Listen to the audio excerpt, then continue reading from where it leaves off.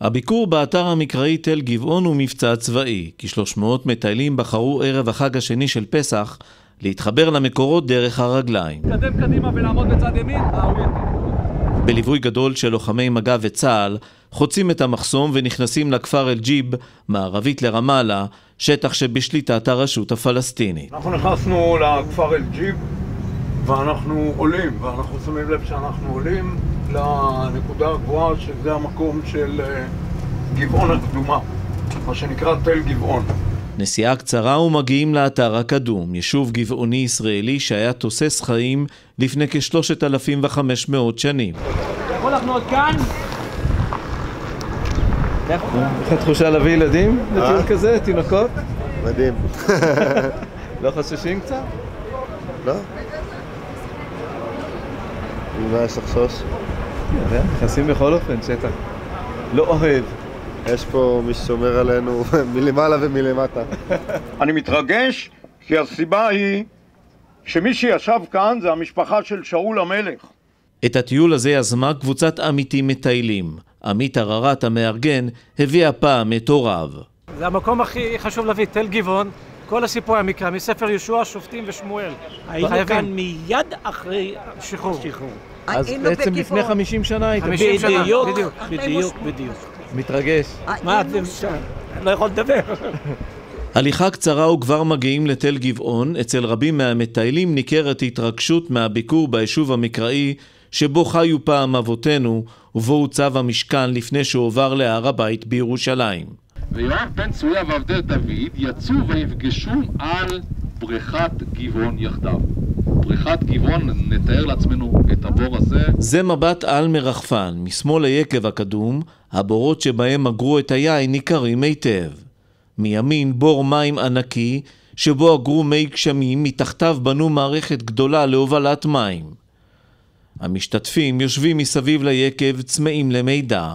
הם מתחברים להרצאות עם תנ"ך פתוח, קוראים פסוקים מספר יהושע ומספר שמואל, וחווים מסע היסטורי של עם ישראל בשטח. מה שאני רואה פה זה, לומדים את ספר יהושע, ואתה רואה את, ה... אתה רואה את ספר יהושע כאילו, אתה רואה את ה... שכתוב בור מים ויקב וזה נמצא פה. מי ש... מי ש...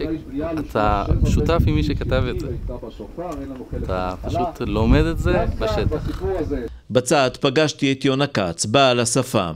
מטייל ותיק, סוג של אנרכיסט כהגדרתו. מתרגש להיות כאן? לא, לא? לא. מה למה להתרגש? אני הייתי פה המון פעמים. אז למה באת היום? כי עוד טיול לעשות נחמד בערב חג, אבל אני בא לטיול, לא בשביל אה, שיהיו פה יהודים. ציונות, עם ישראל. לא, עזוב, אני עם הסיפורים האלה גמרתי. מה, אתה לא מרגיש מחובר פה? אני מרגיש מחובר. זה נקרא אצלך מחובר? עם כל הרכבים של משמר הגבול וצה"ל שצריכים לאבטח אותך? אוי ואבוי לחיבור כזה.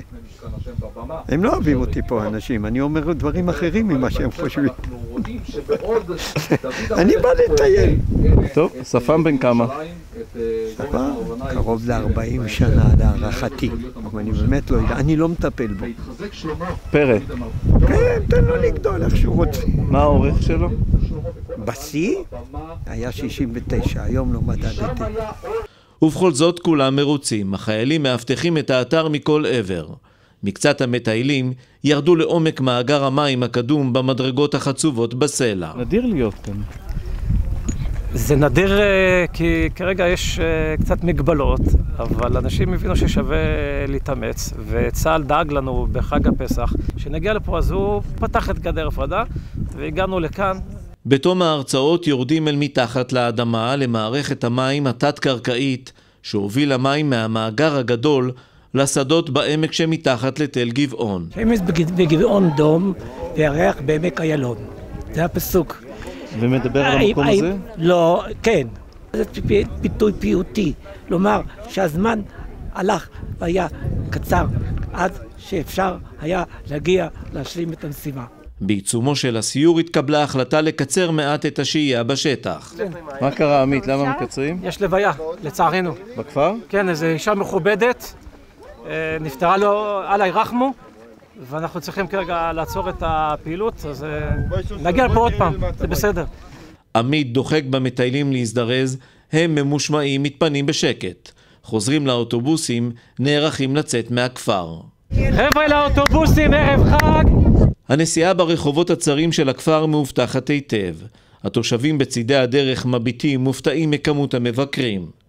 במרכז הכפר, כיכר השהידים, בדמם נכתב כאן, נקבעו גבולות המולדת. שלי זה עצוב לחשוב שחמדת ארצנו, כן, ויש כאלה הרבה שקיות חמדה, אה, מוזנחים, לא מטופלים, חלקם עוברים היום אפילו הרס והשחתה, חבל, פשוט בזבוז. זה הפן השני של אי שליטתנו המעשית באזור הזה.